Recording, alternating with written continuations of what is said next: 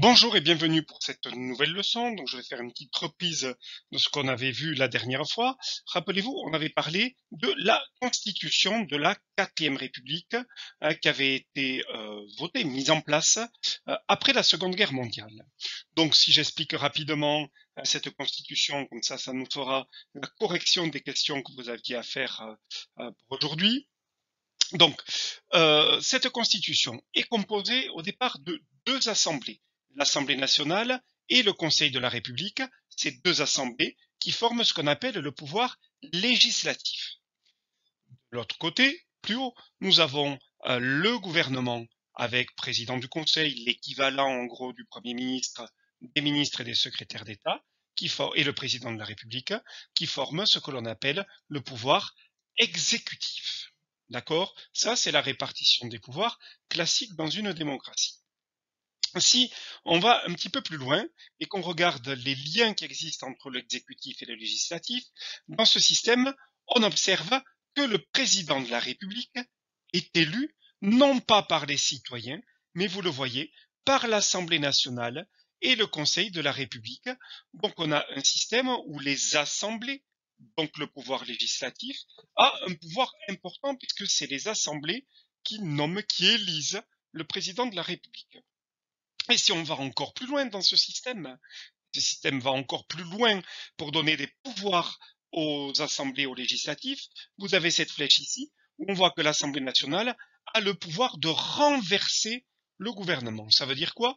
Si un gouvernement ne lui convient pas, un président du Conseil ou des ministres ne lui conviennent pas, l'Assemblée nationale organise un vote et peut destituer, renverser, exclure, virer, si vous voulez, les membres du gouvernement. Dans ce cas-là, le président de la République doit s'employer pour former un nouveau gouvernement.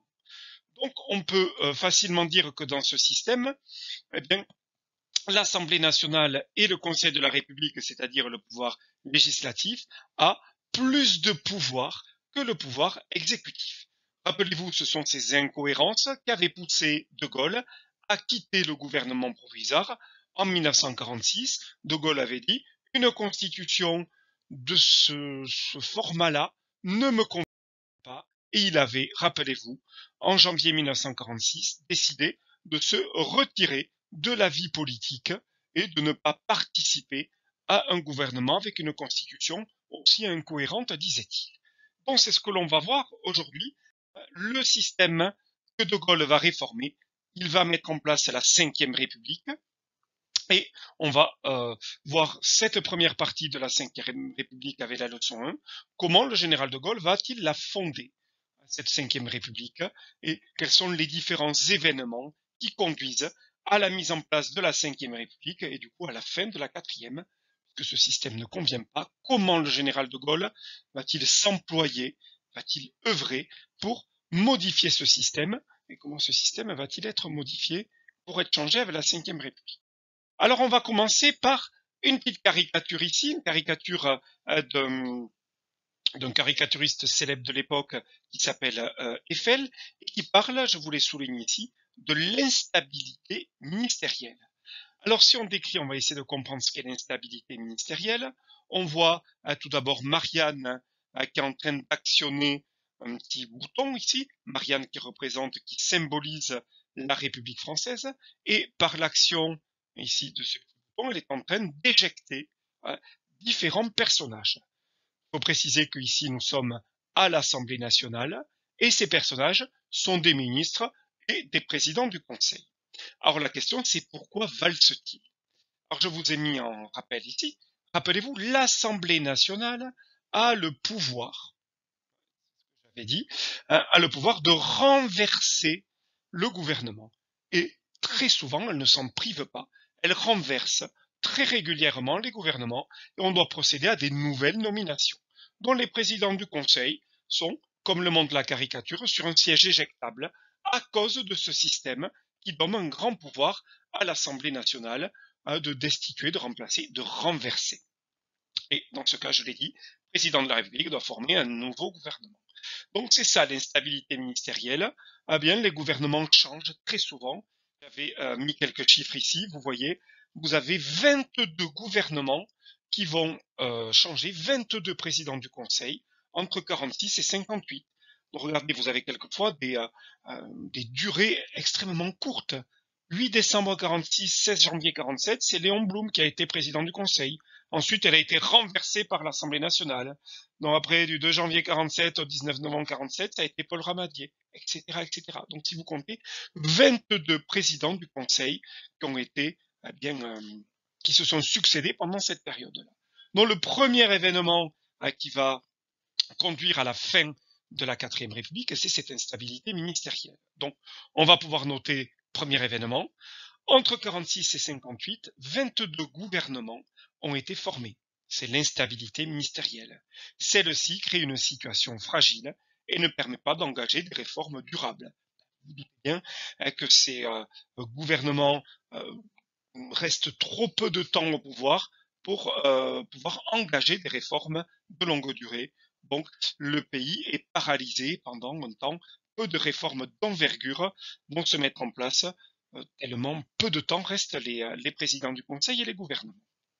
Donc, on pourrait regarder euh, quelquefois des, des, périodes extrêmement courtes de, euh, présence pour les présidents du Conseil. Je crois qu'il y a un record de trois jours, un président du Conseil euh, qui restait trois jours euh, à la tête de son, de son cabinet. Donc, c'est extrêmement instable. Ça, c'est le premier événement.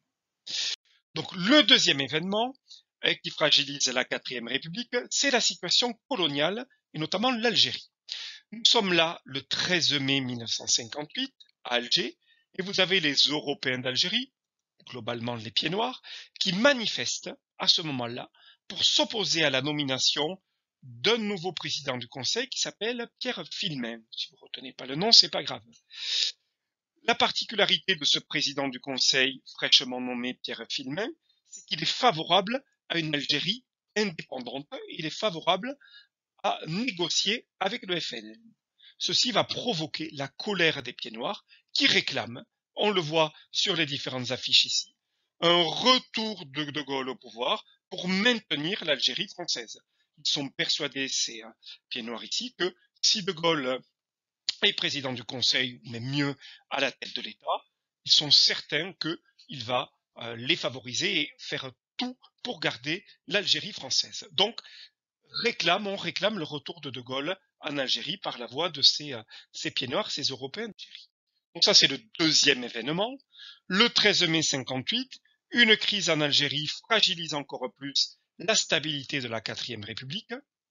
À Alger, nous sommes à Alger ici, les Européens d'Algérie, opposés à l'indépendance du territoire et soutenus par les militaires français, manifestent contre le gouvernement la situation est de plus en plus tendue et beaucoup pensent que De Gaulle est le seul à pouvoir gérer la crise. Ça, c'est le deuxième événement, l'instabilité ministérielle. Donc, ce qui va se passer, euh, c'est que euh, deux jours après la crise d'Algérie, De Gaulle va revenir sur le devant de la scène politique. Pour lui, et il le dit dans un texte, un communiqué de presse, il ressort, si vous voulez, de sa retraite politique et considère que le moment est venu pour commencer à monter le bout de son nez et dire ben, je suis là et comme on commence à en passer en moi, eh bien je vais pouvoir revenir. Il dit l'état est dégradé, il dit les problèmes sont rudes, il dit on est dans un processus désastreux, donc il noircit au maximum la situation pour dire au final eh bien moi je suis là pour essayer de la régler, je me tiens prêt à assumer les pouvoirs de la République, si on fait appel à moi, je suis disponible. Il vaut mieux que vous fassiez appel à moi, parce que, je le rappelle, dit-il, le processus est désastreux, on a des problèmes rudes et l'État est totalement dégradé. Donc, coucou les amis, pensez à moi. J'ai dit que j'étais en retraite politique, mais si je peux rendre service à la France, je suis disponible. Donc il commence à avancer ses pions euh, et profiter d'une situation délicate pour montrer que lui a les solutions pour la soudre. Et ce qui va se passer suite à ces différents événements, et notamment aux événements du 13 mai 1958 en Algérie, face à la pression populaire qui réclame un retour de De Gaulle pour stabiliser euh, le pays, eh bien, le président de la République, qui s'appelle René Coty, euh, que vous avez ici, eh bien, René Coty, comme lui autorise la Constitution, va nommer un président du Conseil, et ce président du Conseil est le général de Gaulle. Donc, dernier, si vous voulez, remaniement ministériel, De Gaulle va être le 22e et dernier président du Conseil de la 4ème République. Ici, encore un gouvernement renversé. De Gaulle appelé comme président du Conseil hein, pour euh, faire face à la situation critique tendue que traverse la France au niveau politique et au niveau colonial. Donc ça, on va pouvoir le noter. En quelques jours, la crise aboutit au retour aux affaires du général de Gaulle. Le 31 mai 58, il est nommé président du Conseil par le président de la République René Coty, comme le prévoit la Constitution. Mais je rappelle, à ce moment-là, De Gaulle n'est que président du Conseil, si vous voulez, Premier ministre. Il n'a pas les pouvoirs pour modifier le système politique. Mais il a une dernière carte, j'allais dire, dans sa manche. Alors à ce moment-là, il va faire un discours à l'Assemblée nationale en tant que président du Conseil et demander la confiance des députés. le voir, il redécrit la situation hein, dans ce discours. L'État est dégradé, l'unité française est menacée, on est dans des épreuves très profondes, les pouvoirs sont impuissants à régler le conflit. Donc dans ce cas-là, je demande à l'Assemblée nationale de me confier les pleins pouvoirs, la totalité des pouvoirs pour résoudre une situation que je décris catastrophique. Il revient sur les arguments qu'il avait développés quelques jours plus tôt. État dégradé, unité menacée, des épreuves, des pouvoirs impuissants. Moi, si vous me confiez les pleins pouvoirs, j'ai la capacité de résoudre cette situation. Et il va encore plus loin en disant, ces pleins pouvoirs me permettront de réformer la Constitution, de changer de système, parce que c'est ce système-là qui nous a conduits dans cette situation. Ce système a dégradé l'État, a menacé l'unité, nous a fait rentrer dans une période d'épreuve, a mis des pouvoirs totalement impuissants avec l'instabilité ministérielle. Donc si je réforme la Constitution et si vous me confiez les pleins pouvoirs, ça ira mieux. Et du coup, hein, fort de son statut de président du Conseil, le général de Gaulle obtient les pleins pouvoirs de l'Assemblée nationale afin de mettre un terme à la crise politique, institutionnelle et coloniale et seule une nouvelle constitution pour lui permettre de sortir de l'impasse. Et du coup, il va proposer aux Français un projet de constitution et il va utiliser ce qu'on appelle le référendum. Le référendum, c'est une question que pose le gouvernement au peuple, la question que euh, De Gaulle pose au peuple français. Approuvez-vous la constitution qui vous est proposée par le gouvernement? Et à quasiment 80%, les Français vont dire euh, oui. Quelques semaines plus tard, 4 octobre 58, la constitution d'une nouvelle république, d'un nouveau système qu'on verra la prochaine fois, la cinquième république est promulguée. Vous avez vu comment progressivement le général de Gaulle revient sur le devant de la scène politique et fait adopter une nouvelle constitution, la constitution de la cinquième république. Donc, De Gaulle utilise le référendum pour faire valider sa nouvelle constitution. Et du coup, on va pouvoir noter en conclusion, la crise du 13 mai 58 favorise le retour du général de Gaulle au pouvoir. Une nouvelle constitution se met en place. C'est le début de la cinquième république. Et nous verrons la prochaine fois le fonctionnement de la cinquième république et comment le général de Gaulle a créé une république un petit peu à son image, faite pour lui, hein, pour qu'il l'utilise au mieux de tous ses pouvoirs. Donc c'est ce que nous verrons la prochaine fois. Il n'y a pas d'exercice à faire.